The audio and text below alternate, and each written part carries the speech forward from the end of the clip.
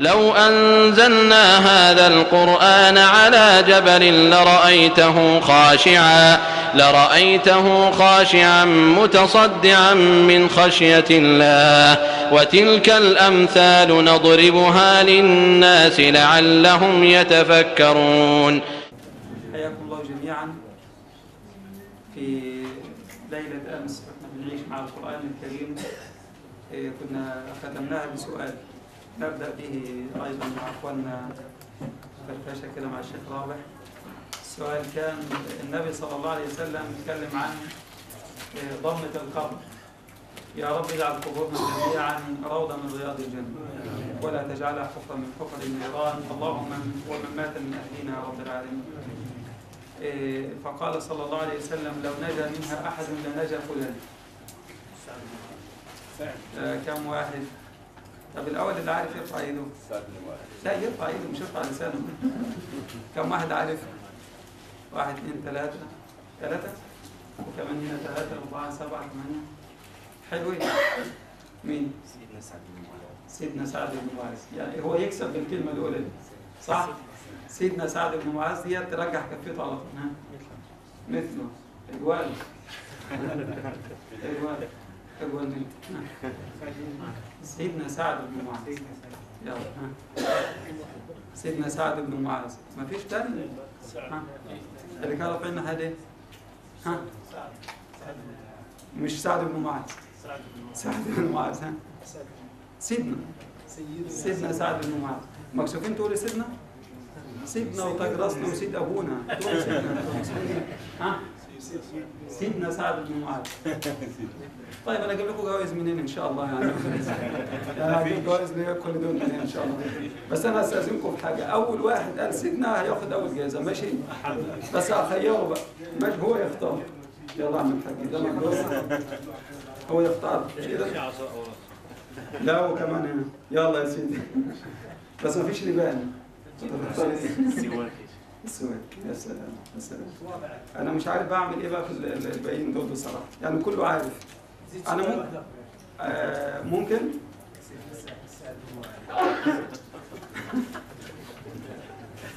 لا أنا أنا بقول اسأل سؤال آخر مش أقول اجابه ها؟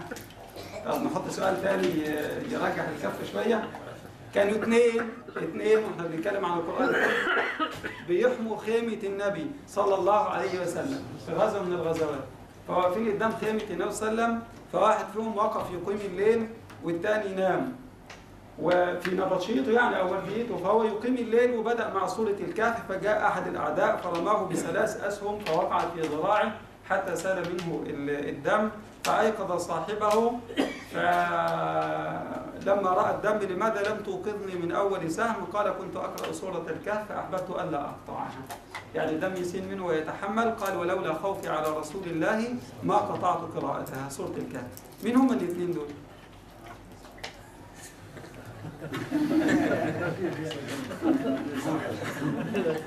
سعد بن معاذ. الاثنين هم مين الاثنين؟ طب اللي هيجيب واحد منهم آه. اللي هيجيب واحد منهم آه.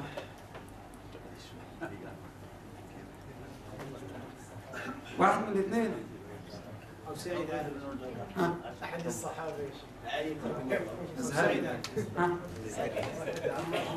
الله يرضى عنك خلاص يبقى انت تاخد جايزة مني خلاص سيدنا عمار وسيدنا مين التاني بقى؟ سيدنا مين؟ الله يرضى عنك. بس انت ما قلت سعد بن معاذ. مين اللي قال سعد بن معاذ؟ ثاني؟ خد يا عم. خد يا عم. خد يا عم. سامحوني الجماعه الباقيين. يعني الليلة جاية تتعوض لكم إن شاء الله. الحمد لله والصلاة والسلام على سيدنا المصطفى وعلى آله وصحبه ومن والاه. ما تخافوش في سؤال جديد يعني. إنما نكمل كده مع سليم العقيدة. آه، إحنا بنقلبها بس عشان الجماعة اللي بيغشوا مش أنتوا. مش أنتوا المقصودين؟ المقصود الجماعة اللي بيغشوا. اللي هي الصفة الأولى من الصفات العشر اللي القرآن الكريم يربينا عليها ويريدها مننا. نسأل الله أن يحققها فينا جميعا يا رب العالمين على الوجه الذي يرضاه الله عز وجل عنا. فكلمنا عن الصفة الأولى اللي هي سليم العقيدة كتعريف كمقاييس. كمقاييس ذكرنا بالأمس خمس مقاييس. مقاييس يعني إيه؟ يعني ترمومتر نقيس به منسوب الإيمان. بيفرق من إنسان لإنسان على حسب تنفيذه لهذه العلامات أو الترقيمات. الخمسة بتاعت اليوم إن شاء الله رب العالمين سريعا من مقاييس الإيمان. السؤال الأول بيقول هل ترتب حياتك وأصدقائك وأولوياتك على أساس الإيمان؟ يعني بتختار أصحابك، تختار زوجتك، تختار زوجك، آه، تختار علاقاتك ومعاملاتك. هل الإيمان هو الضابط في كل ارتباطاتك وحياتك وعلى هذا الأساس آه، بتعيش حياتك؟ ولما تحصل مفاضلة بين اتنين بين أيهما تفاضل؟ ولو اتنين متقدمين يتجوزوا بنت أبوها بيختار مين أو هي بتختار مين؟ ولو هو أمامه اتنين يريد أن يتزوج واحدة منهما بيفضل واحدة على التانية على أي أساس؟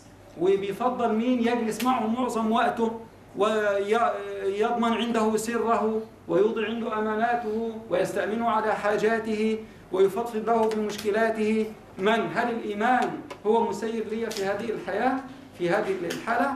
ذكرنا بالأمس آية في سورة البقرة اللي هي بتتكلم عن أعلى علاقة بين البشر وهي علاقة الزواج. والقرآن ذكر إن الإيمان ضابط فيها حتى يؤمنوا حتى يؤمن. ولا عبد مؤمن خير من مشرك ولا أمة مؤمنة خير من مشركة. هل الإيمان ضابط ليا في أمور حياتي كلها؟ بقعد مع مين؟ أما أجي أتجوز هختار مين؟ أما من أدخل بيتي من في كل علاقاتي وحياتي. دي ليس معناها أيضا قطيعة مع الناس. لا إنما معناها مسألة الحب والاختيار والتفضيل عند التعارض. بيكون على أي أساس؟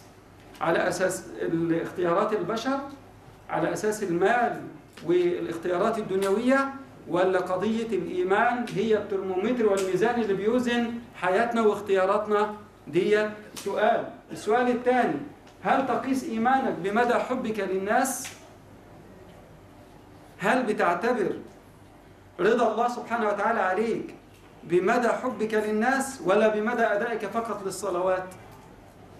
أداء الصلوات فريضة إنما ممكن يؤدي الصلاة المؤمن والمنافق. بل المنافق بيبني مساجد كمان. بل المنافق بيسعد المنابر ويخطب في الناس. بل المنا- المنافق يتكلم باسم الدين ويبقى عالم كمان ما في مشكلة. إنما إيه اللي يميز؟ قال القرآن في مميز مميزات وهي مدى حبك للناس. الله عز وجل يقول مثل المؤمنين. النبي صلى الله عليه وسلم يقول مثل المؤمنين في توديهم وتراحمهم وتعاطفهم كمثل جسد إيه؟ واحد إذا اشتكى منه عضو تداعى له سائر الجسد بالسهر والحمى. ويقول صلى الله عليه وسلم المؤمن للمؤمن كالبنيان يشد بعضه بعضا. ويقول صلى الله عليه وسلم والمؤمنون والمؤمنات بعضهم ويقول القرآن الكريم والمؤمنون والمؤمنات بعضهم أولياء بعض. وتقول سورة الحجرات إنما المؤمنون إخوة. هل حبي فعلا للناس مقياس عندي من مقاييس الإيمان؟ فهل أعتبر لما الناس تخاصمني؟ يبقى ده معصية بيني وبين الله سبحانه وتعالى؟ ولما الناس تقترب مني يبقى دي علامة حب من ربنا سبحانه وتعالى ليا؟ وهل بتمنى الخير للناس فعلا؟ هل من داخلي بدعي للناس إن ربنا سبحانه وتعالى يرزق الجميع ويهنئ الجميع ويسعد الجميع ويعطي للجميع؟ ولما بدعي بدعي لنفسي فقط؟ هذا مقياس من مقاييس الإيمان.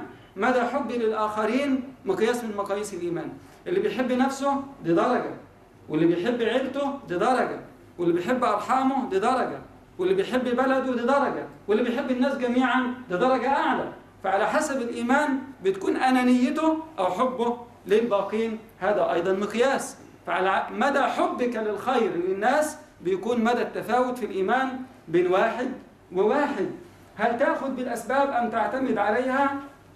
أم تتركها أنت بتاخذ بالأسباب وتبذلها وتترك النتائج على الله سبحانه وتعالى ولا بتاخذ بالأسباب وإن لم تأتي النتائج تيأس وتحبط ولا بتأخذ بال... ولا. لا تأخذ بالأسباب أصلا تتركها ومنتظر النتيجة من عند ربنا بدون أي بذل يعني هل أنا نايم وقاعد ومنتظر الفرج والرزق والنصر من الله سبحانه وتعالى بدون ما أبذل أي شيء ولا أنا بتحرك فعلا بس بعتمد على السبب اللي معايا وهو اللي هيجيب النتيجة وإن ما جاتش أحبط وأيأس ولا أنا ببذلها الأسباب وأترك النتيجة إلى الله سبحانه وتعالى فسواء جاءت النتائج أو لم تأتي أنا لا أحبط لأني متأكد أن الله لا يخيب سعيا لأحد أنا مين في الثلاثة دول؟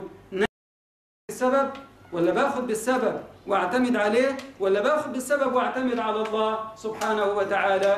هذا مقياس يفاوت بين الناس بعضها وبعض وكتير جدا يربط القرآن الكريم بين الإيمان والعمل والسعي وموعود الأجر عند الله سبحانه وتعالى يوم القيامة.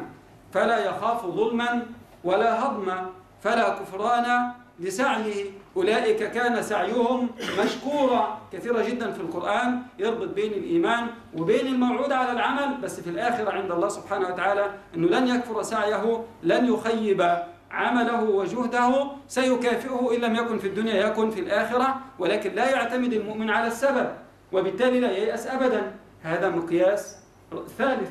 هل تؤثر في الآخرين أم تتأثر بهم؟ المقياس الرابع. هل أنا لما بعيش في بيئة من البيئات قاعد بلعن في اللي حواليا. ويا دي النيلة وهنضيع وعيالها يضيع وبيتها يضيع ومراتها تضيع ودينها يضيع و إمتى نفر وإمتى نطفش وإمتى والبيئة وهكذا. ولا أنا بعمل بالمضاد وهو إن أنا أؤثر في هذه البيئة مهما كانت درجة فسادها. هل أنا قاعد عشان إسفنجة أشرب وأتأثر بالآخرين؟ ولا أنا عندي مضاد حيوي وعندي رسالة فأؤثر أنا وأشع بنوري على الآخرين؟ مؤمن آل فرعون عاش في أفسد بيئة ذكرت في التاريخ وحافظ على إيمانه. في أفسد بيئة لم تتكرر. استبداد فساد عهد خمور عبودية لغير الله سبحانه وتعالى إسراف وتبذير كل ما شئ بيئة قصر فرعون والفراعنة. ومع ذلك القرآن الكريم يصفه بالإيمان ويصفه بالرجولة وهو من آل فرعون. وقال رجل مؤمن من آل فرعون بل كان يمارس رسالته معهم بحكمة وتدرج حتى جهر بها في النهاية. هل أنا مؤثر ولا متأثر؟ هل أنا عمال أحط شماعة على البيئة اللي حواليا إن تقصيري وضعفي هو بسبب الذنوب والمعاصي اللي موجودة في البيئة وغصب عننا والبيئة والبيئة والبيئة؟ ولا أنا عندي استعداد إنه أغير في البيئة اللي حواليا وأؤثر أنا فيها؟ عاش النبي صلى الله عليه وسلم في بيئة فاسدة. كانت في مكة. ولكن هو والصحابة الكرام كان عندهم حصانة إيمانية تمنعهم من أن يتأثروا بأخلاق البيئة بل هم أثروا فيها وغيروا فيها. هكذا درجة الإيمان. كل ما كان الإيمان قوي في نفس صاحبه كل ما جعل منه مضاد حيوي يؤثر في اللي حواليه مش هو اللي يتأثر بمن حواليه. هل عندك استعداد أن تقول الحق ولو كان مرا؟ المقياس الأخير. المقياس الأخير من المقاييس العشرة الإيمان يدفع بصاحبه خاصة في وقت الأزمات والشدائد أن يقول الحق ويميز عالم من عالم وشيخ من شيخ وعابد من عابد وأستاذ من أستاذ ومجتمع من مجتمع ساعة الأزمات وساعة نصرة الحق وساعة ما يطلب لدفع الخير. يميز الناس مثل هذه الأزمات. فترى صاحب الإيمان الحق في الأزمة يصمت وينطق بالحق ولو كان مرا ولو كلفه الكثير ولو حتى روحه. وصاحب الإيمان الهش أو الضعيف أو غير المؤمن أصلا أو صاحب الشعارات والكلام في ساعة الأزمات يختفي ينزوي. خطيب منابر أستاذ في الكلام إنما ساعة الأزمة ما تلاقوش أصلا موجود في الأزمات لأنه ما عندوش استعداد إن هو يضحي. لأن النبي صلى الله عليه وسلم يقول من رأى منكم منكرا فليغيره بيده فإن لم يستطع فبه فإن لم يستطع فبه قال وذلك أضعف الإيمان. فالمؤمن دائما مغير دائما منكر. النبي صلى الله عليه وسلم من جاهدهم بيده فهو مؤمن بلسانه فهو مؤمن بقلبه فهو مؤمن. وليس وراء ذلك حبة خردل من إيمان. يعني الذي ليس عنده إنكار للمنكر ما يكلمش عن الإيمان ما يكلمش عن العقيدة أصلا. العقيدة الباردة بتاعت الكتب عقيدة الصلوات والمساجد والتكييفات إنما ما عندوش استعداد إن ينطق بكلمة حق خوفا من باطل أو ينزوي أو يؤيد باطل خوفا على نفسه ما يتكلمش عن الإيمان ولا العقائد. ده يكتب كتب ويألف كتب ويخطب على المنابر ودول يفضحوا في الأزمات زي ما تشوفوا في مصر دلوقتي. كتير كان عامل الليلة على المنابر وحولهم الآلاف من الشباب الآن لا نسمع لهم صوت ونسمع لشباب ربما لا يحصل على شهادة علمية أصلا. الآن صوته أمام السلطان الجائر أعلى من صوت الرعد والبرق.